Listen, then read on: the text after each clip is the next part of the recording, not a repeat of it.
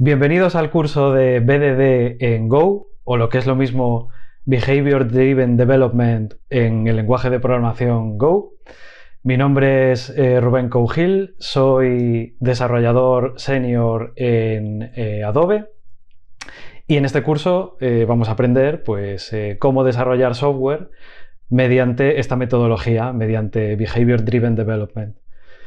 Ah, los requisitos previos para poder realizar este curso es conocimientos de programación en Go a nivel eh, básico, a nivel elemental. También conocimientos de testing en Go, o sea, no solo el lenguaje, sino también la librería de testing, es decir, que ya hayáis hecho algún test en, este lenguaje. Como sabéis, la librería de testing viene dentro del propio lenguaje, no es una librería externa. Y eh, nociones básicas de TDD, eh, bueno, veremos en qué se parecen y qué se diferencian BDD de TDD, pero al final la filosofía es un poco la misma, es dirigir el desarrollo de software mediante test. Lo que pasa es que BDD con un foco más alto, alto nivel. Vamos a ver qué es BDD, eso sí que lo vamos a ver desde cero. Primeros pasos con BDD y GoDoc. GoDoc es la librería eh, oficial de Cucumber para el lenguaje de programación Go. y unos ejemplillos eh, sencillos de implementación de BDD con esta librería. Después nos meteremos ya en un caso más real, eh, desarrollaremos una API REST eh, utilizando esta metodología, utilizando BDD y dirigiéndola mediante casos de uso y testeándolos.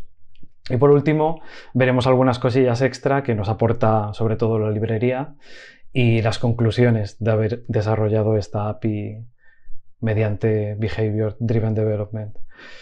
¿Para qué?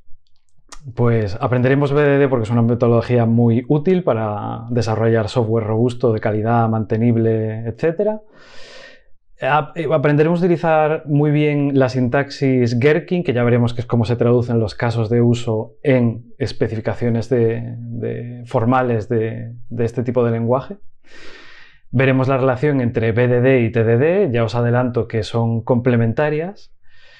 Y, por supuesto, utilizaremos una librería específica para la implementación de BDD en Go.